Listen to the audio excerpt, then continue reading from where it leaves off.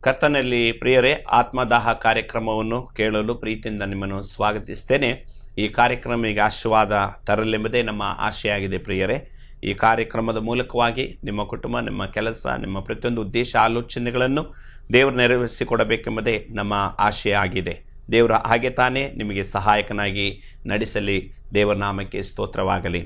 ಪ್ರೇರೆ ಈ ದಿವಸಗಳಲ್ಲಿ ನಮ್ಮ ಆಧ್ಯಾತ್ಮಿಕ ಜೀವಿತದಲ್ಲಿ ನಾವು ಮುಂದೆ ಬೆಳೆಯದ ಹಾಗೆ ಅಥವಾ ನಮ್ಮ ಆತ್ಮಿಕ ಜೀವಿತದಲ್ಲಿ ನಾವು ಮುಂದೆ ಹೋಗದ ಹಾಗೆ ಅಡ್ಡಿಪಡಿಸುವಂಥ ಸಂಗತಿಗಳ ವಿಷಯದಲ್ಲಿ ನಾವು ಕೆಲವು ಸಂಗತಿಗಳನ್ನು ದೇವರ ವಾಕ್ಯದೊಂದಿಗೆ ನಾವು ಧ್ಯಾನಿಸೋಣ ಪ್ರಿಯರೇ.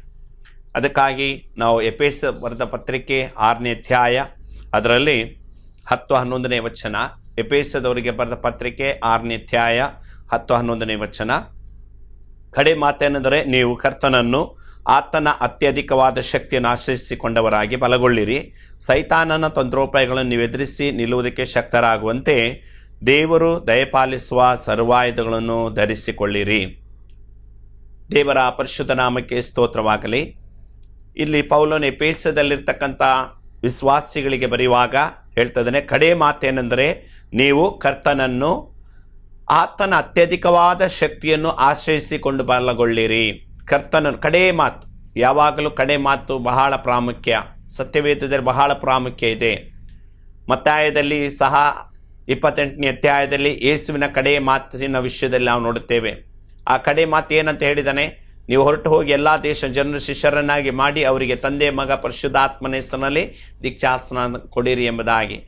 ಮಾತ್ರವಲ್ಲ ನಾನು ಉಪದೇಶದನ್ನೆಲ್ಲ ಅವರಿಗೆ ಕಾಪಾಡಿಕೊಳ್ಳೋದಕ್ಕೆ ಉಪದೇಶ ಮಾಡಬೇಕು ಎಂಬುದಾಗಿ ಆತನು ಹೇಳಿದ್ದಾನೆ. ಯುಗದ ಸಮಾಪ್ತಿಯವರು ಎಲ್ಲ ದಿವಸ ನಿಮ್ಮ ಸಂಗಡ ಇರ್ತಾನೆ ಕಡೆ ಮಾತು. ಅದು ಹೇಳಿ ಆತನು ಇನ್ನೂ ಬರಲಿಲ್ಲ. ಬರುವಾಗ ಈ ಕಡೆ ಮಾತನ್ನು ಆತನು ಖಂಡಿತವಾಗಿ ನಮ್ಮೆಲ್ಲರ ನೆನಪಿಗೆ ತರುತ್ತಾನೆಂಬುದಾಗಿ ನಾನು ಭಾವಿಸ್ತೇನೆ ಆದ್ದರಿಂದ ಇವತ್ತು ದೇವರ ವಾಕ್ಯ ಹೇಳುವಂಥ ಮಾತುಗಳನ್ನು ನಾವು ಹಗುರವಾಗಿ ತಗೊಳ್ಳದೆ ಏನೋ ಒಂದು ಕಾದಂಬರಿಯ ಪುಸ್ತಕವೋ ಯಾರ್ದೋ ಮಾತು ಎಂಬುದಾಗಿ ತಗೊಳ್ಳದೆ ಇದು ದೇವರ ಜೀವವುಳ್ಳ ವಚನ ಎಂಬುದಾಗಿ ಗಂಭೀರವಾಗಿ ತಗೊಂಡ್ರೆ ಆ ವಾಕ್ಯದ ಆಶೀರ್ವಾದ ಖಂಡಿತವಾಗಿ ನಮಗೂ, ನಮ್ಮ ಮನೆಗೂ, ನಮ್ಮ ಕುಟುಂಬಕ್ಕೂ ಅದು ನಮ್ಮನ್ನು ಮುಂದಕ್ಕೆ ನಡೆಸುವಂಥದ್ದಾಗಿರ್ತದೆ ಹಾಗೆ ಇಲ್ಲಿ ಪೌಲನು ಎಪೇಸದಂಥ ವಿಶ್ವಾಸಿಗಳಿಗೆ ಬರೆಯುವಾಗ, ಕಡೆ ಮಾತೇನೆಂದರೆ ನೀವು ಕರ್ತನನ್ನು, ಆತನ ಅತ್ಯಧಿಕವಾದ ಶಕ್ತಿಯನ್ನು. ಕರ್ತನನ್ನು, ಆತನ ಅತ್ಯಧಿಕವಾದ ಶಕ್ತಿಯನ್ನು ಆಶ್ರಯಿಸಿಕೊಂಡವರಾಗಿ ಬಲಗೊಳ್ಳಿರಿ. ಇವತ್ತು ದೇವರ ಮಕ್ಕಳು ಕ್ರೈಸ್ತರೆಂಬುದಾಗಿ ಹೇಳಿದರೆ ಹೆಸರಿಗೆ ಹೇಳುವುದರಿಂದ ಏನು ಪ್ರಯೋಜನ ಇಲ್ಲ.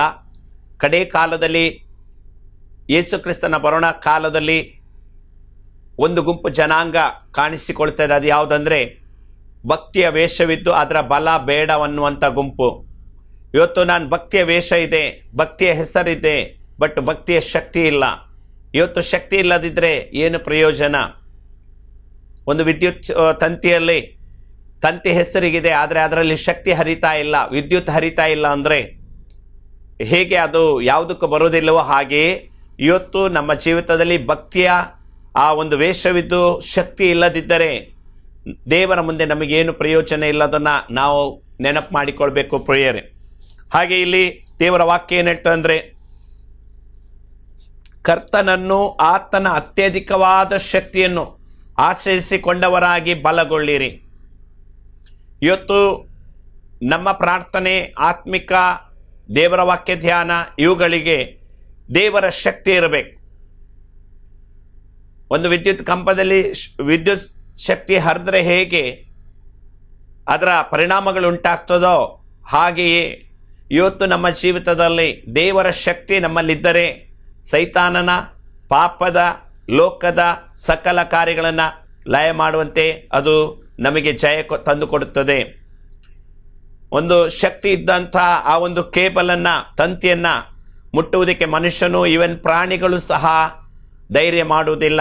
ಯಾಕಂದರೆ ಅದರ ಆ ಅನುಭವ ಒಂದು ಸಾರಿ ಪಡ್ಕೊಂಡ ಮೇಲೆ ಜೀವಮಾನವೆಲ್ಲವೂ ಭಯದಲ್ಲಿರುವಂತೆ ಅದು ಮಾಡ್ತದೆ. ಹೇಗೋ ಹಾಗೆ ಇವತ್ತು ನಿಮ್ಮಲ್ಲಿ ದೇವರ ಭಕ್ತಿಯ ಶಕ್ತಿ ಇದ್ದರೆ ದೇವರ ಶಕ್ತಿ ನೀವು ಆವರಿಸಿಕೊಂಡಿದ್ದರೆ ಆಶ್ರಯಿಸಿಕೊಂಡಿದ್ದರೆ, ನಿಮ್ಮ ಜೀವಿತವು ಶಕ್ತಿಯನ್ನು ತುಂಬಲ್ಪಟ್ಟಿದ್ದರೆ ಸೈತಾನನ ಕಾರ್ಯಗಳು ನಮ್ಮನ್ನು ಮುಟ್ಟುವಾಗ ಸ್ಪರ್ಶ ಆಗ್ತದೆ. ಸೈತಾನನ ವ್ಯವಸ್ಥೆಗಳು ನಮ್ಮ ಕುಟುಂಬವನ್ನು ಮುಟ್ಟುವಾಗ ಸ್ಪರ್ಶ ಆಗ್ತದೆ.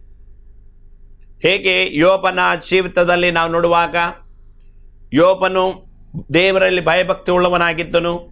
ಅವನಿಗೆ ಬರೇ ಭಕ್ತಿಯ ವೇಷ ಇರಲಿಲ್ಲ, ಭಕ್ತಿಯ ಶಕ್ತಿ ಇತ್ತು. ಭಕ್ತಿಯ ಶಕ್ತಿ ಇದ್ದದರಿಂದ ಅವನ ಜೀವಿತದಲ್ಲಿ ಸೈತಾನನಿಗೆ ನೇರವಾಗಿ ಪ್ರವೇಶ ಮಾಡಲು ಆಗಲಿಲ್ಲ. ಇವತ್ತೆಷ್ಟೋ ಮನೆಗಳಲ್ಲಿ, ಕುಟುಂಬಗಳಲ್ಲಿ ನನಗೆ ಆ ಸಮಸ್ಯೆ, ಈ ಸಮಸ್ಯೆ, ಸೈತಾನನ್ನು ಬಿಡುವುದಿಲ್ಲ, ಅದು ಬಿಡುವುದಿಲ್ಲ, ಅವ್ರು ಬಿಡುವುದಿಲ್ಲ, ಇವರು ಬಿಡುವುದಿಲ್ಲ. ನೂರ ಒಂದು ವಿಷಯದಲ್ಲಿ ಗುಣಗುಟ್ಟುತ್ತಾ ಜೀವಿತವನ್ನು ಸಾಗಿಸುವಂಥ ಪರಿಸ್ಥಿತಿ. ದೇವರ ಮುಂದೆ ಇದು ಹೇಳಿ ಏನು ಪ್ರಯೋಜನ ಇಲ್ಲ. ನಿಮ್ಮಲ್ಲಿ ದೇವರ ಶಕ್ತಿ ಇಳಿದು ಬರಲಿ. ದೇವರ ಶಕ್ತಿ ಇಳಿದು ಬರಲಿ. ಯೇಸು ಸ್ವಾಮಿ ಶಿಷ್ಯರು ಹಾಗೆ ಶಕ್ತಿ ಇಲ್ಲದಂಥ ಪರಿಸ್ಥಿತಿಯಲ್ಲಿದ್ದಾಗ ಅಪೋಸ್ತಲ ಕೃತ್ಯ ಒಂದನೇ ಅಧ್ಯಾಯದಲ್ಲಿ ನಾವು ನೋಡುತ್ತೇವೆ, ನೀವು ಪರಲೋಕದಿಂದ ಬಲವನ್ನು ಹೊಂದುವ ತನಕ, ಆ ಸಹಾಯಕನು ನಿಮ್ಮ ಜೀವಿತದಲ್ಲಿ ಬರುವ ತನಕ ಯೆರೂಸಲೇಮನ ಬಿಟ್ಟು ಹೋಗಬಾರದು. ಯಾವಾಗ ಆ ಶಕ್ತಿಯನ್ನು ಅವರು ಹೊಂದಿದರೋ ಅವರೆಲ್ಲೆಲ್ಲಿ ಹೋದರೂ ರೋಗ ಸ್ವಸ್ಥತೆ, ನಾನಾ ರೀತಿ ಉಪದ್ರದಿಂದ ಬಿಡುಗಡೆ, ಎಲ್ಲ ರೀತಿಯ ಅದ್ಭುತ ಮಹತ್ಕಾರ್ಯ ಸೂಚಕಾರ್ಯಗಳು ಮಹಿಮೆ ಕಾರ್ಯಗಳು ನಡೀತಾ ಇದೆ. ಪೇತ್ರ ಯೋಹನಾರು ಹುಟ್ಟುಕುಂಟನಿಗೆ ಹೇಳ್ತಿ ಈ ಸ್ವಾಮಿಯೊಟ್ಟಿಗಿರುವಾಗಲೇ ಸ್ವಸ್ಥತೆ ವಿಷಯದಲ್ಲಿ ಅಪನಂಬಿಕೆ ಇಟ್ಟುಕೊಂಡಂತ ಇದೇ ಶಿಷ್ಯರು. ಈಗ ಈ ಸ್ವಾಮಿ ಪುನರ್ತಾನ ಹೊಂದಿ ಪರಲೋಕಕ್ಕೆ ಹೋಗಿ ಆಗಿದೆ. ಈಗ ಪೋಸ್ತಲ ಕೃತ್ಯ ಮೂರನೇ ಅಧ್ಯಾಯಕ್ಕೆ ಬರುವಾಗ ಇವರು ಏನು ಮಾಡ್ತಿದ್ದಾರೆ ಅಂದರೆ ದೇವರ ಶಕ್ತಿಯನ್ನು ಹೊಂದಿದವರಾಗಿದ್ದರಿಂದ ಆ ಹುಟ್ಟುಕುಂಟನಿಗೆ ಹೇಳ್ತಾನೆ, ಬೆಳ್ಳಿ ಬಂಗಾರ ಎಂತೂ ನಮ್ಮಲ್ಲಿಲ್ಲ, ಆದರೆ ಒಂದಿದೆ. ಅದು ನಜರೇತಿನ ಯೇಸುವಿನ ಹೆಸರಿನಲ್ಲಿ ಎದ್ದು ನಡೆದಾಡು. ದಟ್ ಈಸ್ ಪಾವರ್ ಅದು ದೇವರ ಶಕ್ತಿ. ಇವತ್ತು ನಿಮಗೆ ಏನಿದೆಯೋ ಇಲ್ವೋ, ಅವುಗಳ ಮೇಲೆ ಗಮನ ಕೊಡಬೇಡಿ. ಇವತ್ತು ನಿಮಗೆ ದೇವರ ಶಕ್ತಿ ಇದೆಯಾ? ಭಕ್ತಿಯ ವೇಷ ಮಾತ್ರ ಅಲ್ಲ, ದೇವರ ಶಕ್ತಿ ಇದೆಯಾ? ಅಲ್ಲಿ ನಿಮಗೆ ಎಲ್ಲ ರೀತಿಯ ಸಹಾಯಗಳನ್ನು ದೇವರಿಂದ ನಿಮಗೆ ಸಿಗ್ತದೆ. ದೇವರು ನಿಮಗೆ ಒದಗಿಸಿ ಕೊಡ್ತಾನೆ ರೋಗವೋ, ಬಾಧೆಯೋ, ನಷ್ಟವೋ, ಕಷ್ಟವೋ, ಉಪದ್ರವೋ, ಶಾಪದೋಷಗಳು ವಾಟ್ ಎವರ್ ನಿಮ್ಮ ಜೀವಿತದಲ್ಲಿ ಯಾವುದೇ ಇರಲಿ ಯೇಸುವಿನ ನಾಮದಲ್ಲಿ ನಿಮಗೆ ಜಯ ಸಿಗ್ತದೆ. ಮಧ್ಯವರ್ತಿಗಳನ್ನು ಆಶ್ರಯಿಸಿಕೊಂಡು ನಿರಾಶರಾಗಿ ಕುಗ್ಗಿ ಹೋಗಬೇಕಾಗಿಲ್ಲ. ದೇವರು ಇವತ್ತು ಮೊಮ್ಮಕ್ಕಳನ್ನಾಗಿ ತಕೊಳ್ಳಿಲ್ಲ ಅಥವಾ ಅಧಿಪತಿಗಳನ್ನಾಗಿ ತಕೊಳ್ಳಿಲ್ಲ. ನಮ್ಮೆಲ್ಲರನ್ನು ಯೋಹನ ಸ್ವಾರ್ಥಿ ಒಂದನೇ ಅಧ್ಯಾಯ ಪ್ರಕಾರವಾಗಿ ನಮ್ಮನ್ನು ಮಕ್ಕಳನ್ನಾಗಿ ಆದುಕೊಂಡಿದ್ದಾನೆ. ಆದ್ದರಿಂದ ಈ ಅನುಭವವನ್ನು ನಮ್ಮ ಜೀವಿತದಲ್ಲಿ ತಿಳಿದುಕೊಂಡು ನಾವು ಮುಂದೆ ಹೋಗಬೇಕಾಗಿದೆ. ಹಾಗೆ ಯೋಪನ ವಿಷಯಕ್ಕೆ ಬರುವಾಗ ಅವನಲ್ಲಿ ಬರೀ ಭಕ್ತಿಯ ಬರೀ ವೇಷ ಅಲ್ಲ, ಶಕ್ತಿ ಇತ್ತು. ಆದ್ದರಿಂದ ಆ ಶಕ್ತಿ ಸೈತಾನನಿಗೆ ಚೆನ್ನಾಗಿ ಗೊತ್ತಿತ್ತು. ಯೋಬನಲ್ಲಿದ್ದ ಶಕ್ತಿ ಏನು? ಅದಕ್ಕೆ ಅವನು ದೇವ್ರ ಹತ್ರ ಹೋಗಿ ಕೇಳ್ತಾನೆ ನಾವು ಯೋಬನ ಪುಸ್ತಕದಲ್ಲಿ ನಾವು ನೋಡುತ್ತೇವೆ. ದೇವರಲ್ಲಿ ಕೇಳ್ತಾ ಇದ್ದಾನೆ, ಯೋಬನ ನೋಡಿದೀಯಾ? ನನ್ನ ದಾಸನಾದ ಯೋಬನ ನೋಡಿದೀಯಾ? ನೀತಿವಂತನಾದ ಯೋಬನು? ಅದಕ್ಕೆ ಸೈತಾನ ದೂರುವಂತ ಒಂದು ವಿಷಯ ಇದ್ದಿದ್ರೆ ಖಂಡಿತ ಆ ದಿನದಲ್ಲಿ ಯೋಬನ ವಿಷಯದಲ್ಲಿ ದೂರ್ತಾ ಇದ್ದ. ದೂರ್ಲಿಕ್ಕೆ ಅವನಲ್ಲಿ ಏನಿರಲಿಲ್ಲ ಯಾಕಂದರೆ ಭಕ್ತಿಯ ಶಕ್ತಿ ಅವನ ಜೀವಿತದಲ್ಲಿ ಅಷ್ಟು ಬಲವಾಗಿತ್ತು. ಸೈತಾನನಿಗೆ ಯಾವ ವಿಧದಲ್ಲಿಯೂ ಅವನನ್ನಾಗಲಿ, ಅವನ ಮನೆಯನ್ನಾಗಲಿ, ಅವನ ಸ್ವಾಸ್ಥ್ಯವನ್ನಾಗಲಿ ಮುಟ್ಲಿಕ್ಕೆ ಆಗಲಿಲ್ಲ. ಇವತ್ತೆಷ್ಟೋ ಜನರ ಜೀವಿತದಲ್ಲಿ ದೇವರ ಹೆಸರನ್ನು ಹೇಳುವುದಕ್ಕಿಂತ ಹೆಚ್ಚಾಗಿ ಸೈತಾನ ಹೆಸರನ್ನು ಹೇಳಿ, ಈ ರೀತಿ ನಾನು ಬಾಧಿಸ್ತಾನೆ, ನನ್ನನ್ನು ಹಿಂಸೆ ಪಡಿಸ್ತಾನೆ ನನಗೆ ಕಷ್ಟ ಇದೆ, ನಷ್ಟ ಇದೆ ಎಂಬುದಾಗಿ ಹೇಳಿಕೊಳ್ಳುವಂಥ ಪರಿಸ್ಥಿತಿಯ ಕಾಲದಲ್ಲವಿದ್ದೇವಲ್ವಾ ಹಾಗಿರುವಾಗ ಇಲ್ಲಿ ಯೋಬನ ಜೀವಿತದಲ್ಲಿ ಸೈತಾನನಿಗೆ ಒಂದು ಪರ್ಸೆಂಟ್ ಅವಕಾಶನೇ ಇಲ್ಲ. ಯಾಕೆ? ಭಕ್ತಿಯ ಶಕ್ತಿ. ಅಂದರೆ ಅವನು ಸೈತಾನ ದೇವರ ಹತ್ರ ಏನು ಹೇಳ್ತಾನೆ? ಸುಮ್ಮನೆ ಅವನು ಲಾಭ ಇಲ್ಲದೆ ನಿನ್ನ ಮೇಲೆ ಭಕ್ತಿ ಇಡಲಿಲ್ಲ, ಭಯ ಭಕ್ತಿ ಇಡಲಿಲ್ಲ. ಅವನು ಯಾಕೆ ಭಯಭಕ್ತಿ ಇಟ್ಟಿದ್ದಾನೆಂದರೆ ನೀನು ಅವನ ಮನೆಗೂ, ಅವನ ಸ್ವಾಸ್ಥ್ಯಕ್ಕೂ ಬೇಲಿ ಹಾಕಿದ್ದೀಯಾ? ಪ್ರಿಯರೇ, ಇವತ್ತು ನನ್ನನ್ನು ಕೇಳ್ತಿರಂಥ ಪ್ರಿಯರೇ, ನಿಮ್ಮ ಜೀವಿತದಲ್ಲಿ ಆ ಸಾಕ್ಷಿ ಇದೆಯಾ? ಆ ಸಾಕ್ಷಿನ ದೇವರು ಕೊಟ್ಟಿದ್ದಾರ? ನನ್ನ ಮನೆಗೆ, ನನ್ನ ಕುಟುಂಬಕ್ಕೆ ದೇವರು ಬೇಲಿ ಹಾಕಿದ್ದಾನೆ. ನನಗೆ ಕಾನ್ಫಿಡೆನ್ಸ್ ಬೇಕಾದಷ್ಟಿದೆ. ಐ ಹ್ಯಾವ್ ಕಾನ್ಫಿಡೆನ್ಸ್ ಎನಫ್ ಅದು ಏಕೆಂದರೆ ದೇವರು ನನ್ನನ್ನು, ನನ್ನ ಮನೆ, ಕುಟುಂಬ ಸಮಸ್ತವನ್ನು ತನ್ನ ಹತೋಟಿಯಲ್ಲಿಟ್ಟುಕೊಂಡಿದ್ದಾನೆ ಎಂಬುದಾಗಿ ನಿಮಗೆ ಹೇಳಲಿಕ್ಕೆ ಸಾಧ್ಯ ಇದೆಯಾ? ಹಾಗಾದರೆ ಈ ಟಿ ವಿ ಮುಂದೆ ನೀವು ಕೇಳುವಾಗಲೇ ದೇವರಿಗೆ ಸ್ತೋತ್ರ ಮಾಡ್ರಿ. ದೇವರು ನಿಮ್ಮನ್ನು ಆ ನೆಲೆಯಲ್ಲಿ ಇಟ್ಟಿದ್ರೆ ಕರ್ತನ ನಾಮಕ್ಕೆ ಸ್ತೋತ್ರವಾಗಲಿ. ದೇವರು ಅದನ್ನೇ ನಮ್ಮೆಲ್ಲರಿಂದ ಬಯಸ್ತಾನೆ. ಅದು ಬಿಟ್ಟು ಯಾವಾಗ ಸೈತಾನ ನಂಗೆ ಉಪದ್ರ ಕೊಡ್ತಾನೆ ಅಂತ ಭಯ ಪಡೋದಲ್ಲ. ಕೆಲವರು ಹೀಗಿರ್ತಾರೆ. ನೋಡು, ಇವತ್ತು ನಾನು ಸಂತೋಷವಾಗಿದ್ದೀನಿ. ಯಾವಾಗ ಬಂದು ಸೈತಾನ ಇನ್ನು ಉಪದ್ರ ಕೊಡ್ತಾನೋ ಗೊತ್ತಿಲ್ಲ. Are a believer are a Christian ಇವತ್ತು ಸೈತಾನನಿಗೆ ಹೆದರಿ ಜೀವನ ಮಾಡುವಂತಹ ಜೀವಿತ ಅಲ್ಲ. ಅಯ್ಯೋ, ನಾನು ಇವತ್ತು ತುಂಬಾ ನಗಾಡಿದ್ದೇನೆ. ಯಾವಾಗ ಹಳ್ಳಿ ಕುಂಟ ಏನೋ. ಈ ರೀತಿ ಮಾತಾಡೋರು ಇರ್ತಾರೆ. ಅಯ್ಯೋ ಇವತ್ತು ನಮಗೆ ಒಳ್ಳೆ ಲಾಭ ಆಯ್ತು, ಇನ್ನು ನಷ್ಟ ಬರ್ತದೆ ಏನೋ. ಲೋಕದ ಪರಿಸ್ಥಿತಿಗಳನ್ನ, ಇದು ದೇವರ ಶಕ್ತಿ ಅಲ್ಲ, ಭಕ್ತಿಯ ಶಕ್ತಿ ಅಲ್ಲ. ಎಪ್ಪ ಆರಲ್ಲಿ ಓದ್ತಾ ಇದ್ದೇವೆ, ಇವತ್ತು ನಮ್ಮ ಜೀವಿತದಲ್ಲಿ ದೇವರೊಂದಿಗೆ ಇರುವಂತಹ ಒಂದು ಆತ್ಮಿಕ ಅನುಭವವನ್ನ, ದೇವರನ್ನು, ಅಂದ್ರೆ ಕರ್ತನನ್ನು, ಆತನ ಅತ್ಯಧಿಕವಾದ ಶಕ್ತಿಯನ್ನು ಆಶ್ರಯಿಸಿಕೊಂಡವರಾಗಿ ಬಲಗೊಳ್ಳಿರಿ. ಯೋಬನ ಜೀವಿತವನ್ನು ಪ್ರಯತ್ನ ಮಾಡಿ ಮಾಡಿ ಮಾಡಿ ಯಾವ ಸಂದುಗುಂದಿಯಲ್ಲಿಯೂ ಸಹಿತ ನನಗೆ ಅವಕಾಶ ಇಲ್ಲ. ಇವತ್ತು ನಮ್ಮ ಕಾಂಪೌಂಡ್ ಏರಿಸಿದರೆ, ಬಿಲ್ಡಿಂಗ್ ಕಟ್ಟಿದರೆ ಸೈತಾನ ಬರಲ್ಲ ಅಂತ ಹೇಳಿದರೆ ಸುಳ್ಳು. ನೀವು ಹತ್ತು ಮಾಳಿಗೆ ಅಲ್ಲ, ಐವತ್ತು ಮಾಳಿಗೆ ಮಾ, ಕಟ್ಟಿದ್ರು, ಎಲ್ಲಿದ್ರು ಹೇಗಿದ್ರು, ಈ ಬೇಲಿ, ಲೋಕವು ಹಾಕುವ ಬೇಲಿ ಅಲ್ಲ, ಅಥವಾ ಸೆಕ್ಯೂರಿಟಿಯವರು ಕೊಡುವಂಥ ಸೆಕ್ಯೂರಿಟಿನೂ ಅಲ್ಲ. ಇವತ್ತು ನಮಗೆ ಬೇಕು ಡಿವೈನ್ ಸೆಕ್ಯೂರಿಟಿ ಲೋಕದ ಸೆಕ್ಯೂರಿಟಿ ನಮ್ಮನ್ನು ರಕ್ಷಿಸುವುದಿಲ್ಲ. ನಮ್ಮ ದೇಶದಲ್ಲಿ ಎಷ್ಟೆಲ್ಲ ದುರ್ಘಟನೆಗಳಾಯ್ತಲ್ವಾ? ನಮ್ಮ ದೇಶದ ಮಾಜಿ ಪ್ರಧಾನಿಯನ್ನು ಸೆಕ್ಯೂರಿಟಿಯಲ್ಲಿ ಇರೋರೇ ಈ ಜೀವನ ತೆಗೆದದ್ದು ನಾವು ಚರಿತ್ರೆಯಲ್ಲಿ ನಾವು ನೋಡ್ತೇವಲ್ಲ. ಹಾಗಿರುವಾಗ ಈ ಲೋಕದ ಎಷ್ಟೇ ಸೆಕ್ಯೂರಿಟಿ ನಿಮಗೆ ಏನು ಬೇಕಾದ ಸೆಕ್ಯೂರಿಟಿ ಅದೆಲ್ಲ ಸೆಕ್ಯೂರಿಟಿ ಡಿವೈನ್ ಸೆಕ್ಯೂರಿಟಿ ಪರಲೋಕದಿಂದ ದೇವರು ಕೊಟ್ಟ ಸೆಕ್ಯೂರಿಟಿ ಇವತ್ತು ಭಕ್ತಿಯ ವೇಷ ಇದ್ದು ಅದರ ಬಲ ಇಲ್ಲದಿದ್ದರೆ ನಮ್ಮ ಜೀವಿತದಲ್ಲಿ ಸೈತಾನ ಎಲ್ಲ ರೀತಿಯಲ್ಲಿ ನಮ್ಮನ್ನು ಶೋಧಿಸ್ತಾನೆ, ಬಾಧಿಸ್ತಾನೆ. ಅನೇಕ ರೀತಿಯಾದಂಥ ಕಷ್ಟ ಕಣ್ಣೀರಿಗೆ ಗೋಳಾಟಕ್ಕೆ ಕಾರಣವಾಗ್ತದೆ. ಪ್ರೇರಿ, ಇವತ್ತು ನಿಮ್ಮ ಮನೆ, ನಿಮ್ಮ ಕುಟುಂಬ, ನಿಮ್ಮ ಮಕ್ಕಳ ವಿಷಯದಲ್ಲಿ ಏನೋ ಅವತ್ತಾವತ್ತು ಸ್ವಲ್ಪ ಪ್ರೇಯರ್ ಮಾಡಿ ಬಾಳ್ತಾ ಇದ್ದೇನೆ. ಇವತ್ತು ಚೆನ್ನಾಗಿದೆ. So far so good God is leading us so ಆ ರೀತಿಯಲ್ಲಿ ಹೇಳಿಕೊಂಡು ಟೆಂಪ್ರರಿ ಸಂತೋಷದಲ್ಲಿ ಇರಲಿಕ್ಕೆ ದೇವರು ನಮ್ಮನ್ನು ವಿಶ್ವಾಸಕ್ಕೆ ನಡೆಸಲಿಲ್ಲ. ದೇವರು ನಮ್ಮ ನಡೆಸಿರೋದು ಈ ಲೋಕದಲ್ಲಿ, ಲೋಕದ ವ್ಯವಸ್ಥೆಗಳಲ್ಲಿ ನಮ್ಮ ಜೀವಿತವನ್ನು ಜಯಸೋಧನೆ ನಡೆಸಲಿಕ್ಕಾಗಿ. ಆದಿಯಲ್ಲಿ ದೇವರು ಏದೇನ್ ತೋಟದಲ್ಲಿ ಆದಾಮನನ್ನು ಹವಳನ್ನು ಉಂಟು ಮಾಡಿ ಏನಂತ ಹೇಳಿದ್ರು? ಇವೆಲ್ಲದರ ಮೇಲೆ ದೊರೆತನ ಮಾಡು, ಎಲ್ಲದರ ಮೇಲೆ ದೊರೆತನ ಮಾಡು. ಅವನು ಮಾಡಿದ ಸಂತೋಷವಾಗಿದ್ದ. ಆದರೆ ಅಲ್ಲಿ ಸೈತಾನನಿಗೆ ಅವಕಾಶ ಆದದ್ರಿಂದ ಅವನು ದೇವರ ವಾಕ್ಯ ಏನು ಹೇಳ್ತದಂದ್ರೆ, ಅವನು ದೊರೆತನ ಮಾಡೋ ಬದಲಿಗೆ ಅವನು ಸೈತಾನನ ಕುಯುಕ್ತಿಗೆ ಬಲಿಯಾದ. ಇವತ್ತು ನಮ್ಮ ಜೀವಿತ ಆಳುವಂಥ ಜೀವಿತ, ನಮ್ಮ ಜೀವಿತ ರೂಲಿಂಗ್ ಜೀವನ, ಜನರ ಮೇಲೆ ರೂಲಿಂಗ್ ಅಲ್ಲ, ಈ ಲೋಕದ ವ್ಯವಸ್ಥೆಗಳ ಮೇಲೆ ರೂಲಿಂಗ್ ಅಲ್ಲ. ಸ್ಪಿರಿಚುವಲ್ ಪ್ರಿನ್ಸಿಪಾಲಿಟಿ ವಾಯುಮಂಡ ಚಲಿಸುವ ದುರಾತ್ಮನ ಪಿಚಾಚನ ಕಾರ್ಯಗಳಿಗೆ ವಿರುದ್ಧವಾಗಿ ನಾವು ಹೋರಾಡುವವರಾಗಿದ್ದೇವೆ. ಇವತ್ತೆಷ್ಟೋ ಮನೆ ಕುಟುಂಬ ಜೀವಿತದನ್ನು ನೋಡುವಾಗ ಅವರು ಸೋತು ಸುಣ್ಣಾಗಿ ಹೈರಾಣಾಗಿ ಹೋಗಿರ್ತಾರೆ. ಅವರ ಹಣ ಅವರನ್ನು ರಕ್ಷಿಸಲ್ಲ, ಅವರ ಸ್ಥಾನಮಾನ ಅವರನ್ನು ರಕ್ಷಿಸಲ್ಲ, ಅವರ ಲೋಕದ ಸ್ಥಾ, ಯಾವ ವ್ಯವಸ್ಥೆಗಳು ಅವರನ್ನು ರಕ್ಷಿಸುವುದಿಲ್ಲ. ಒಂದು ರೀತಿಯ ಗಂಡಾಂತರದ ಅನುಭವದಲ್ಲಿರ್ತಾರೆ ಯಾವ ಹಣನು, ಆಸ್ತಿನ, ಅಂತಿಸ್ತು, ಬೆಳ್ಳಿ, ಬಂಗಾರ ಯಾವುದು ಅವರಿಗೆ ಸಮಾಧಾನ ಕೊಡ್ತಾ ಇಲ್ಲ. ಯಾಕಂದರೆ ಸೈತಾನನ್ನು ಬಂಧನದಲ್ಲಿ ಹಾಕಿದಂಥ ಪರಿಸ್ಥಿತಿ. ಇವತ್ತು ಇದಕ್ಕೆ ಪರಿಹಾರ, ಮಾರ್ಗ ಲೋಕದಲ್ಲಿ ಎಲ್ಲೂ ಇಲ್ಲ.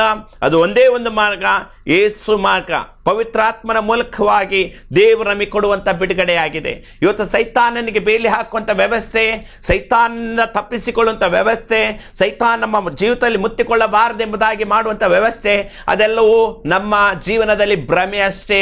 ಇದರಿಂದ ಯಾರಿಗೂ ಏನು ಮಾಡಲಿಕ್ಕೆ ಸಾಧ್ಯ ಇಲ್ಲ. ಲೋಕದ ಶಕ್ತಿಗಳಾಗಿ ಒಂದು ಶಕ್ತಿಯಿಂದ ಇನ್ನೊಂದು ಶಕ್ತಿ, ದೊಡ್ಡ ಶಕ್ತಿಯಿಂದ ಸಣ್ಣ ಶಕ್ತಿ ಹೆದರುವುದು ಈ ರೀತಿಯಾದಂಥ ವ್ಯವಸ್ಥೆ ಬಿಟ್ಟರೆ ನಿಜವಾದ ಒಂದು ಸಂತೋಷದ ಅನುಭವ ಜೀವನದಲ್ಲಿ ಸಿಕ್ಕಲಿಕ್ಕೆ ಸಾಧ್ಯ ಇಲ್ಲ ಪ್ರಿಯರೇ. ಹಾಗಾಗಿ ಇವತ್ತು ನಮ್ಮ ಜೀವಿತವನ್ನು ಇಷ್ಟೇ ನಾವು ತಗೊಳ್ಳೋಣ ನನಗೂ, ನನ್ನ ಮನೆಗೂ, ನನ್ನ ಕುಟುಂಬಕ್ಕೂ ದೇವರು ಬೇಲಿ ಹಾಕಿದರೆ ನಿನ್ನ ಕುಟುಂಬವನ್ನು, ನಿನ್ನ ಮನೆಯನ್ನು, ನಿನ್ನ ವ್ಯವಹಾರವನ್ನು ಯಾರು ಮುಟ್ಲಿಕ್ಕೆ ಸಾಧ್ಯನೇ ಇಲ್ಲ.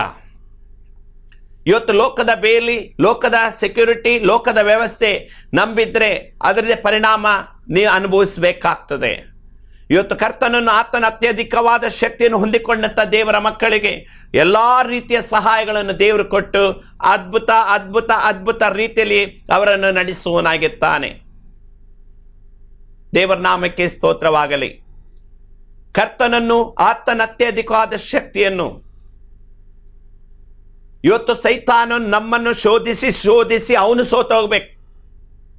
ಅವನಿಗೆ ನಾಚಿಕೆ ಆಗಬೇಕು. ಅವನಿಗೆ ಅವಮಾನ ಆಗಬೇಕು. ಅವನು ಬೇಸತ್ತು ಬಿಟ್ಟು ಬಿಡಬೇಕು. ಇವತ್ತು ಯೇಸು ಸ್ವಾಮಿಯ ಜೀವಿತದಲ್ಲಿ ಸೈತಾನ ಶೋಧಿಸಿ ಶೋಧಿಸಿ ಕೊನೆಗೆ ತನ್ನಲ್ಲಿ ಆಗುವುದಿಲ್ಲ ಅಂತೇಳಿ ದೇವರು ಆಕೆ ಹೇಳ್ತದೆ, ಯೇಸುವನ್ನು ಬಿಟ್ಟು ಬಿಟ್ಟನು. ಸ್ವಾರ್ಥೆಯಲ್ಲಿ ನಾವು ನೋಡ್ತೇವೆ, ಲುಕನ್ ಸ್ವಾರ್ಥೆಯಲ್ಲಿ ಯೇಸು ಸ್ವಾಮಿನ ಶೋಧಿಸಿ ಶೋಧಿಸಿ ಸಾಕಾಯಿತು, ಅವನು ಬಿಟ್ಟು ಹೊರಟು ಹೋದನು ಎಂಬುದಾಗಿ. ಹಾಗೆ ಇವತ್ತು ನಿಮ್ಮ ಜೀವಿತದಲ್ಲಿ ಮಾಡಿ ಮಾಡಿ ಏನು ಮಾಡಿದ್ರು ಅವನ ಜೀವಿತದಲ್ಲಿ ನಿಮ್ಮಲ್ಲಿ ಕಾರ್ಯ ಮಾಡಲಿಕ್ಕೆ ಆಗುವುದಿಲ್ಲ ಆಗಬಾರದು. ಇವತ್ತು ಯೋಬನ ಜೀವಿತದಲ್ಲಿ ಏನಾದರೂ ಸ್ವಲ್ಪ ಅವಕಾಶ ಇದ್ದಿದ್ರೆ ಅವನು ಬಿಡ್ತಿರ್ಲಿಲ್ಲ, ದೇವ್ರ ಹತ್ರ ಹೋಗ್ಬೇಕಾಗಿಲ್ಲ ಪರ್ಮಿಷನ್ ತಗೊಳ್ಬೇಕು. ಅವನು ಏನೆಲ್ಲ ಬಾಧೆ ಅನುಭವಿಸಿದ?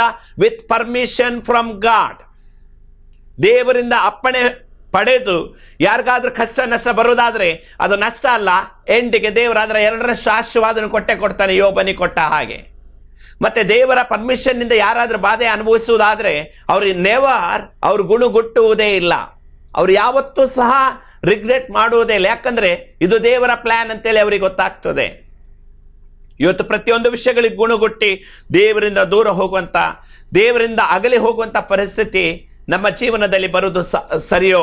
ಪ್ರಿಯರೇ ಇದು ಆಗಬಾರದು ಇವತ್ತು ಕರ್ತನನ್ನು ಆತನ ಅತ್ಯಧಿಕವಾದ ಶಕ್ತಿಯನ್ನು ಹೊಂದಿಕೊಂಡಿದ್ದರೆ ದೇವರು ಲೋಕದ ವ್ಯವಸ್ಥೆ ನಿಮಗೋಸ್ಕರ ಬದಲಾಯಿಸ್ತಾನೆ. ಆದಾಮ ಅವರನ್ನು ನೀವು ಆಳಿರಿ ಎಂಬುದಾಗಿ ಅವರಿಗೆ ಎಲ್ಲವನ್ನು ಕೊಟ್ಟ. ಆದರೆ ಅವರು ಅವಿಧೇಯರಾದದರಿಂದ, ಸೈತಾನನ ಮಾತಿಗೆ ಕಿವಿಗೊಟ್ಟದರಿಂದ, ಸೈತಾನನ ವ್ಯವಸ್ಥೆಗೆ ಹೌದು ಅಂತ ಯೋಚಿಸಿದ್ರಿಂದ, ಅದಕ್ಕೆ ಬಲಿಪಶ ಆದದರಿಂದ ಅವರು ಆಳುವವರಾಗಲಿಲ್ಲ, ಆಳುವವರಾದರು. ಆಳುವವರು. ವೀಪಿಂಗ್ ಕ್ರಾಯಿಂಗ್ ಆ ಅನುಭವ ಇವತ್ತೆಷ್ಟೋ ಮನೆಗಳಲ್ಲಿ, ಎಷ್ಟೋ ಕುಟುಂಬದಲ್ಲಿ ಕಣ್ಣೀರು ಇಲ್ಲದ ದಿನಗಳಿಲ್ಲ. ಗೋಳಾಟ ಇಲ್ಲದ ದಿನಗಳಿಲ್ಲ. ಅವರ ಹಣ ಅವರನ್ನು ರಕ್ಷಿಸ್ತಾ ಇಲ್ಲ. ಅವರ ಯಾವ ಬೆಳ್ಳಿ ಬಂಗಾರ ಅವರಿಗೆ ಸಮಾಧಾನ ಕೊಡ್ತಾ ಇಲ್ಲ. ಅವರ ಯಾವ ದೊಡ್ಡ ದೊಡ್ಡ ಬಿಸ್ನೆಸ್ಗಳು ಹಣವು ಅವರಿಗೆ ನೆಮ್ಮದಿ ಕೊಡ್ತಾ ಇಲ್ಲ. ನಾನು ಯಾಕೆ ಬದುಕಿದ್ದೇನೆ ಅನ್ನುವಂಥ ಒಂದು ಪ್ರಶ್ನೆ. ಜೀವನವು ಅಳು, ಹಣವು ಅವನ ಜೀವಿತ ಅಳಿಸ್ತಾ ಇದೆ, ಬೆಳ್ಳಿ ಬಂಗಾರ ಅಳಿಸ್ತಾ ಇದೆ, ಅವನ ಬಿಸ್ನೆಸ್ ವ್ಯವಹಾರಗಳು ಅಳಿಸ್ತಾ ಇದೆ, ಅವನ ಬುದ್ಧಿವಂತಿಕೆ, ಜ್ಞಾನ, ಸ್ಥಾನ, ಮಾನಗಳು ಅವನನ್ನು ಅಳಿಸ್ತಾ ಇದೆ. ಇದು ವರ್ಕ್ ಆಫ್ ಡೆವೆಲ್ ಇವತ್ತು ದೇವರು ನಮಗೆ ಕೊಟ್ಟದ್ದು ಆಳುವುದಕ್ಕಾಗಿ ಅಲ್ಲ, ದೇವರು ನಮಗೆ ಕೊಟ್ಟದ್ದು ಆಳುವುದಕ್ಕಾಗಿ. ರೂಲಿಂಗ್ ಓವರ್ ರೂಲಿಂಗ್ ಓವರ್ ಮನುಷ್ಯರ ಮೇಲೆ ಅಲ್ಲ, ವಾಯುಮಂಡಲ ಚಲಿಸುವಂತ ದುಷ್ಟ ಪಿಚಾಚನೆಗೆ ವಿರುದ್ಧವಾಗಿ ನಮ್ಮ ಜೀವಿತದಲ್ಲಿ ಆಳ್ವಿಕೆ ನಡೆಯಬೇಕು. ಇವತ್ತು ನಮ್ಮ ಕುಟುಂಬ as a husband wife children ನಮ್ಮ ಮನೆ, ನಮ್ಮ ಕುಟುಂಬದಲ್ಲಿ ಆ ಒಂದು ದೇವರ ಸಾನ್ನಿಧ್ಯದ ಸಂತೋಷ ನಮಗಿದ್ದರೆ ಅದಕ್ಕಿಂತ ಹೆಚ್ಚೇನಿದೆ ಎಲ್ಲ ಉಣ್ಲಿಕ್ಕೆ ತಿನ್ನಲಿಕ್ಕೆ ಬೇಕಾದಷ್ಟು ಧಾರಾಳವಿದೆ.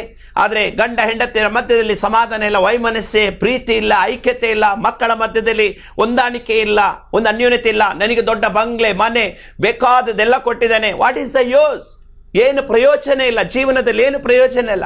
ಮ, ಪ್ರಾಣಿಗಳನ್ನು ನೋಡೋಣ, ಪಕ್ಷಿಗಳನ್ನು ನೋಡೋಣ, ಅವುಗಳು ಬಿತ್ತುವುದಿಲ್ಲ, ಕೊಯ್ಯುವುದಿಲ್ಲ ಕಣದಲ್ಲಿ ಕೂಡಿ ಇಟ್ಟುಕೊಳ್ಳುವುದಿಲ್ಲ. ಇವತ್ತು ಅತಿ ಜ್ಞಾನಿಯಾದಂಥ ಮನುಷ್ಯನ ಇದನ್ನೆಲ್ಲ ಮಾಡ್ತಾ ಇದ್ದಾನೆ, ಅದರ ಬದ್ ಅವನ ಜೀವಿತದಲ್ಲಿ ಅದಕ್ಕೆ ಬದಲಾಗಿ ಏನು ಸಿಗ್ತಾ ಇದೆ? ಏನು ಇಲ್ಲದ ಪಶು ಪಕ್ಷಿ ಪ್ರಾಣಿಗಳು ನೆಮ್ಮದಿಯಾಗಿ ದೇವರು ಕೊಟ್ಟ ಸಂತೋಷವನ್ನು ಪ್ರತಿಗಳಿಗೆ ದಿನದ ಪ್ರತಿಗಳಿಗೆ ಸಂತೋಷ ವ್ಯಕ್ತಪಡಿಸ್ತಾ ಇದೆ. ಆದರೆ ಜೀವ ಕಾಲವೆಲ್ಲವೂ ಸಂತೋಷ ಪಡತಕ್ಕಂಥ ಜ್ಞಾನಿಯಾದ ಮನುಷ್ಯನು ಅವನು ದುಃಖದಲ್ಲಿ, ಕಣ್ಣೀರಿನಲ್ಲಿ, ಗೋಳಾಟದಲ್ಲಿ ಕಾಲ ಕಳೀತಾ ಇದ್ದಾನೆ. ಇವತ್ತು ಮನುಷ್ಯನ ಜೀವಿತ ಏನಾಗಿದೆ? ಒಂದು ರೀತಿಯ ಲೋಕದ ಪರಿಸ್ಥಿತಿ ಅವನನ್ನು ಅಧೋಗತಿಗೆ ತಳ್ತಾ ಇದೆ. ಇವತ್ತು ಲೋಕದ ಅಂತಸ್ತು ಅವನನ್ನು ನಿರಾಶೆಗೂ ದುಃಖಕ್ಕೂ ತಳ್ತಾ ಇದೆ. ಇವತ್ತು ಲೋಕದಲ್ಲಿ ಹಣ ಮಾಡಬೇಕು, ಆಸ್ತಿ ಮಾಡಬೇಕು, ಅಂತಸ್ತು ಹೆಸರು ಗಳಿಸಬೇಕೆಂಬುದಾಗಿ ಹೋಗಿಯೂ ಅವನ ಜೀವಿತದಲ್ಲಿ ಯಾವುದೋ ಅವನಿಗೆ ಸಮಾಧಾನ ಕೊಡ್ತಾ ಇಲ್ಲ. ಇದು ಯಾವುದೋ ಅವನಿಗೆ ನೆಮ್ಮದಿ ಕೊಡ್ತಾ ಇಲ್ಲ. ಯಾಕಂದರೆ ಲೋಕದ ಅಧಿಪತಿ ಸೈತಾನನ ಇಂಡೈರೆಕ್ಟ್ ಅಟ್ಯಾಕ್ ವಿಧ ವಿಧ ರೀತಿಯಲ್ಲಿ ನಡೀತಾ ಇದೆ. ಸೈತಾನ ಯಾಕೆ ಬರ್ತಾನೆ? ಮೊದಲು ಯೇಸ್ವಾಮಿ ಯಾಕೆ ಬಂದ ಅಂತ ಹೇಳ್ತೇನೆ. ಯೇಸ್ವಾಮಿ ಬಂದದ್ದು ಕೆಟ್ಟು ಹೋಗಿರುವವ್ರನ್ನೆಲ್ಲ ಹುಡುಕಿ ರಕ್ಷಿಸುವುದಕ್ಕಾಗಿ, ನಿರಾಶೆಯಲ್ಲಿದ್ದವರಿಗೆ ನಿರೀಕ್ಷೆ ಕೊಡುವುದಕ್ಕಾಗಿ, ಬಳಲಿದವರಿಗೆ ಬಲವನ್ನು ಕೊಡುವುದಕ್ಕಾಗಿ ಕೆಸರಿನಲ್ಲಿಯೂ ಧೂಳಲ್ಲಿಯೂ ಬಿದ್ದಂಥವ್ರನ್ನ ತೆಗೆದು ಬಂಡೆ ಮೇಲೆ ನಿಲ್ಲಿಸುವುದಕ್ಕಾಗಿ, ಜೀವನದಲ್ಲಿ ಗೊತ್ತು ಗುರಿ ಇಲ್ಲದವರಿಗೆ ಒಂದು ನಿತ್ಯ ಜೀವವನ್ನು ಕೊಡುವುದಕ್ಕಾಗಿ ಆತನು ಬಂದಿದ್ದಾನೆ. ಆದರೆ ಸೈತಾನನು ಯಾಕೆ ಬಂದಿದ್ದಾನೆ? ದೇವರ ವಾಕ್ಯ ಹೇಳ್ತದೆ, ಕದ್ದುಕೊಳ್ಳುವುದಕ್ಕೆ, ಕೊಯ್ಯುವುದಕ್ಕೆ ಮತ್ತು ಕೊಲ್ಲುವುದಕ್ಕಾಗಿ. ಇವತ್ತೆಷ್ಟೋ ಮನೆಗಳು ಸೂಸೈಡ್ ಕೇಸ್ ಕೇಳ್ತಾ ಇದ್ದೇವೆ. ಇವತ್ತು ಏನು ಊಟಕ್ಕಿಲ್ಲದೆ ಸಾಯ್ತಾ ಇಲ್ಲ ಅವರು. ಅಥವಾ ಅವನಿಗೆ ದಬ್ಬಾಳಿಕೆಯಿಂದ ಸಾಯ್ತಾ ಇಲ್ಲ. ಅಥವಾ ಯಾವುದೋ ಒಂದು ಉಪದ್ರದಿಂದ ಅಲ್ಲ ಅವ್ರಿಗೆ ಏನಾಗ್ತಾ ಇದ್ದಾರೆ ಮನಸ್ಸಿಗೆ ನೆಮ್ಮದಿ ಇಲ್ಲದೆ, ಲೋಕದಲ್ಲಿರುವಂತಹ ಆಸ್ತಿ, ಅಂತಸ್ತು, ಹಣವು, ಸ್ಥಾನ, ಮಾನ ಅವರಿಗೆ ನೆಮ್ಮದಿ ಕೊಡದೆ ತನ್ನ ಜೀವಿತವನ್ನು ಅವನು ಅಂತ್ಯಗೊಳಿಸ್ತಾ ಇದ್ದಾನೆ. ಒಂದು ತಿಳ್ಕೊಳ್ಳೋಣ, ಜೀವನವು ಕೊಡಲ್ಪಟ್ಟದ್ದು ದೇವರಿಂದ. ಆದ್ರಿಂದ ಇದನ್ನು ಯಾರಾದರೂ ಅಂತ್ಯಗೊಳಿಸಲಿಕ್ಕೆ ಹೋದ್ರೆ ಸರ್ವ ಅವನ ಜೀವಿತ ಕಾಲವೆಲ್ಲವೂ ಅವನ ನರಕದಲ್ಲಿ ತನ್ನ ಕಾರ್ಯವನ್ನು ಕಳಿಬೇಕಾಗ್ತದೆ. ಈ ಲೋಕದಲ್ಲಿ ಒಂದೋ ಆರು ತಿಂಗಳು, ಒಂದು ವರ್ಷ ಹತ್ತು ವರ್ಷ ಬದುಕಿ ಕಷ್ಟಪಟ್ಟು ಸಾಯಬಹುದು ನರಕದಲ್ಲಿ ಮರಣ ಇಲ್ಲ. ಹಾಗಾಗಿ ಯಾರಿಗೂ ತಮ್ಮ ಜೀವದ ಮೇಲೆ ಅಧಿಕಾರ ಇಲ್ಲ. ಯಾರಾದರೂ ಅದನ್ನ ದೇವರು ಕೊಟ್ಟ ಜೀವವನ್ನು ಅವನು ಹಾಳು ಮಾಡಿಕೊಂಡ್ರೆ, ಆತ್ಮಹತ್ಯೆ ಸೂಸೈಡ್ ಎಂಬುದಾಗಿ ಮಾಡಿದ್ರೆ, ಅವನ ಜೀವಮಾನ ಕಾಲದಲ್ಲಿ ಕೋಟಿ ಕೋಟಿ ಕೋಟಿ ವರ್ಷ ಅವನು ಕೊಡ್ತರು ಅಲ್ಲಿ ಸಾಯದೆ ಯಾತನೆ ಪಡಬೇಕಾಗಿದ್ದು ಮಾತ್ರ ಖಂಡಿತ. ಅದು ಯಾರ ಕೆಲಸ? ಸುಸೈಡ್ ಆತ್ಮ ಸೈತಾನದು ದೇವರದಲ್ಲ. ಹಾಗಾಗಿ ಕರ್ತನನ್ನು ಆತನ ಅತ್ಯಧಿಕವಾದ ಶಕ್ತಿಯನ್ನು ಹೊಂದಿಕೊಂಡಾಗ ಜೀವನದ ನಿಜ ಅರ್ಥವನ್ನು ತಿಳ್ಕೊಳ್ಳುವಂತೆ ಕರ್ತನಿಗೆ ಸಹಾಯ ಮಾಡ್ತಾನೆ. ಮುಂದಿನ ವಾರಗಳಲ್ಲಿ ಅದಕ್ಕೆ ಸಂಬಂಧಪಟ್ಟಂಥ ವಿಷಯಗಳೇ ಸೈತಾನ ಕಾರ್ಯಗಳು ಹೇಗೆ ಬರ್ತವೆ, ದೇವರ ಶಕ್ತಿ ಹೇಗೆ ನಮ್ಮನ್ನು ರಕ್ಷಿಸ್ತದೆ, ಇದಕ್ಕೆ ಸಂಬಂಧಪಟ್ಟ ವಿಷಯಗಳನ್ನು ಹೇಳ್ತೇನೆ. ದೇವರು ತಾನೇ ನಮಗೆ ಸಹಾಯಕನಾಗಿ ನಡೆಸಲಿ, ಈ ಮಾತುಗಳನ್ನು ಆಶ್ರಯಿಸಲಿ. ಪ್ರಾರ್ಥಿಸೋಣ. ಪ್ರೀತಿ ಸ್ವರ್ಪನಾ ದೇವರೇ, ಯೇಸುವೆ ನಮ್ಮ ಒಳ್ಳೆ ರಕ್ಷಕನೇ ನಿನಗೆ ಸ್ತೋತ್ರ ಸಲ್ಲಿಸ್ತೇವೆ ವಿಶೇಷವಾಗಿ ಕರ್ತನೆ ಟಿ ವಿ ಮುಂದೆ ಕೇಳ್ತಾ ಇರುವಂಥ ಎಲ್ಲ ಪ್ರಿಯರನ್ನು ಕರುಣಿಸು. ಜೀವನದ ನಿಜವಾದ ಅನುಭವ. ಹೌದು ಕರ್ತನೆ, ಭಯಪಟ್ಟು ನಿನ್ನ ಬಳಿಗೆ ಬೇಡುವುದಲ್ಲ. ಅಧಿಕಾರದಿಂದ ತಮ್ಮ ಜೀವಿತ ಸಾಗಿಸಿ ಸೈತಾನ ಕಾರ್ಯಗಳನ್ನು ತುಳಿಯಲಿಕ್ಕೆ ನಿನ್ನ ಅಧಿಕಾರವನ್ನು ಕೊಡು. ನಿರಾಶೆ, ದುಃಖ ಬೇಸರಗಳ ಮೇಲೆ ಜಯ ಕೊಟ್ಟು ನಿನ್ನ ಶಕ್ತಿಯಿಂದ ತುಂಬಿಸು. ಸೈತಾನ ಬಂದ, ಮನಸ್ಸು ಬಂದಾಗೆಲ್ಲ ಉಪದ್ರ ಮಾಡುವಂಥ ಕುಟುಂಬಗಳಾಗಿ ನಾವಿರದೆ. ಕರ್ತನೆ, ನಿನ್ನಿಂದ ಅನುಮತಿ ಪಡೆದು ನಮ್ಮನ್ನು ಶೋಧಿಸುವ ಆ ಒಂದು ಶಕ್ತಿಯ ಅನುಭವ ನಮಗೆ ಕೊಡು ಸ್ವಾಮಿ. ನೀ ಸಹಾಯ ಮಾಡಿ. ಪ್ರತಿಯೊಬ್ಬರನ್ನ ಆಶೀರ್ವಿಸು. ನಿನ್ನ ಕೃಪೆಯಲ್ಲಿ ಯೇಸುವಿನ ನಾಮದಲ್ಲಿ ಬೇಡ್ತೇನೆ. ಆಮೇಲೆ